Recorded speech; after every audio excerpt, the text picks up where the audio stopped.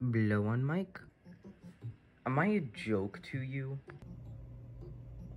You are a handheld device that shouldn't even be talking to me right now. In fact, I think I'm going insane. You're not the only console that had a mic blowing into it, like the Wii U.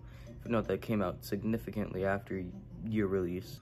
Oh, oh yeah? Well, I have dual screen.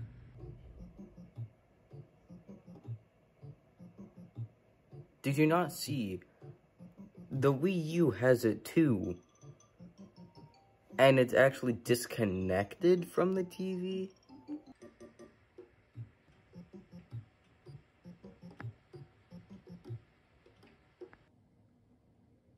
Amiibo thingy. But I don't have any amiibos. Well, I guess I do have games that work on them, like Splatoon, and I think that's actually the only one I have. Amiibo reading, that's new for the Wii U. They tried doing it on the Switch. That failed miserably. In fact, no one uses it. Besides Smash Bros. But, you know.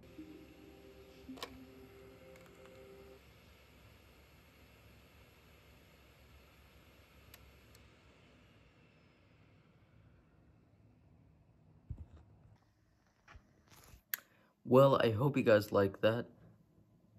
I guess. Um, I got a haircut, so my I look younger, significantly younger. My hair is way shorter. Anyways, I hope you liked the video. It's the first one I've made in a while. I took a break for like a month. I have no idea why. This is the first video on this channel. Check out my other channel, Sir Duster.